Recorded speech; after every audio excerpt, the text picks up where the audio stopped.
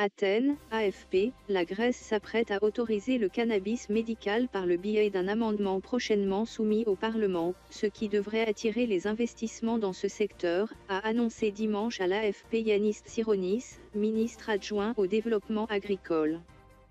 Dans quelques semaines, un amendement sera présenté au Parlement pour définir le cadre législatif de la culture et de la fabrication des produits pharmaceutiques à la base de cannabis médical, ce qui ouvrira la voie à des investissements grecs et étrangers, a affirmé M. Tsironis.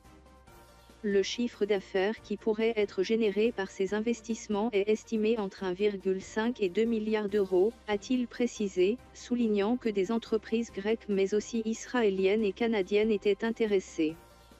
Monsieur Sironis, ainsi que d'autres responsables gouvernementaux, se sont rendus ce week-end à la première exposition internationale de cannabis à des fins médicales organisée en Grèce. Une centaine d'entreprises, grecques et étrangères, ont participé de vendredi à dimanche à cet événement, organisé dans l'ancien site olympique de Taekwondo à Phalère, quartier balnéaire d'Athènes. Selon le gouvernement et des experts, le climat de la Grèce est très favorable à la culture du cannabis à des fins médicales. L'année dernière, le gouvernement avait autorisé, sous certaines conditions, l'importation de certains produits pharmaceutiques à base de cannabis médical, ainsi que la culture du chanvre, cannabis sativa, à des fins industrielles.